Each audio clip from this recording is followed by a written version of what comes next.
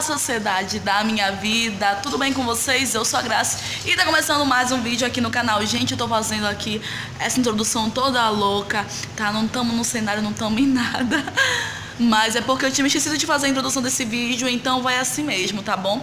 Mas no vídeo de hoje, vocês vão acompanhar como eu faço o meu corte, entendeu? Em camadas no meu cabelo. E é isso, eu vim resolver compartilhar com vocês, porque é um corte que eu tô fazendo, tá dando super certo pro meu cacho. E é isso. Só lembrando que o cabelo cacheado, né, nós chamamos o fator encolhimento.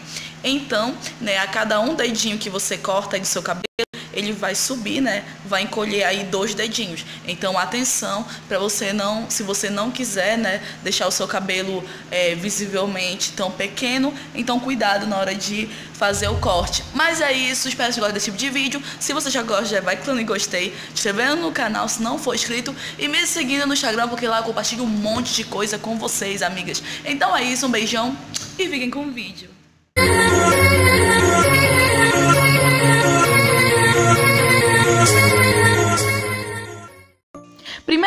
Gente vai separar essa região da nuca, porque, né, eu não quero cortar, porque eu não quero mexer no comprimento do cabelo. Em seguida, eu, eu coloquei o meu cabelo e prendi no topo da cabeça e vou começar a separar as mechas. Eu separo em mechas grandes porque eu não quero muito volume, entendeu? Eu só quero movimento no meu cabelo.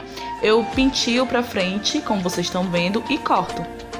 Lembrando que no cabelo cacheado a gente tem o fator encolhimento. Então muito cuidado para não cortar demais. Por isso que eu gosto de cortar o meu cabelo bem úmido, quase que seco. Tudo bem? Para mim não perder o controle. Seu coração te procuro sem saber aonde estás.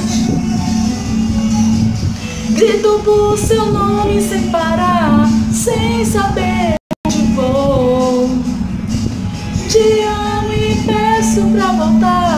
pelo nosso amor. Depois desse momento de brega, eu continuo separando essa parte aqui que fica próximo à minha orelha. Eu vou separar, né? Próximo a essa região, e aí eu vou separar, eu não vou cortar porque eu não quero mexer no comprimento, né, novamente. A parte da franja eu separo. Vou cortando, eu separei essa minha parte do topo da cabeça em mais duas mechas grandes e vou continuar cortando. Estou cortando uma medida de três dedinhos em cada mecha. Agora, ainda já nessa parte da franja, para finalizar, eu separei ainda né, essa parte que pega a próxima região da minha orelha, porque eu não quero mexer no comprimento dessa parte daqui da lateral, tá? A franja eu vou cortar também três dedinhos, tá? Lembrando o fator encolhimento, tá, gente? Então, um dedinho que você corta sobe duas vezes, entendeu? Porque encolhe, né?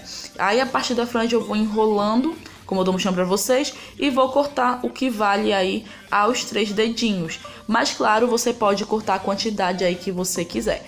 Como fazia, né, no caso, um mês e meio que eu não, não fazia, não reparava esse corte, por isso que eu cortei três dedinhos, mas geralmente eu corto só dois dedos. Então é isso. Eu corto e tá pronto. Agora é só finalizar.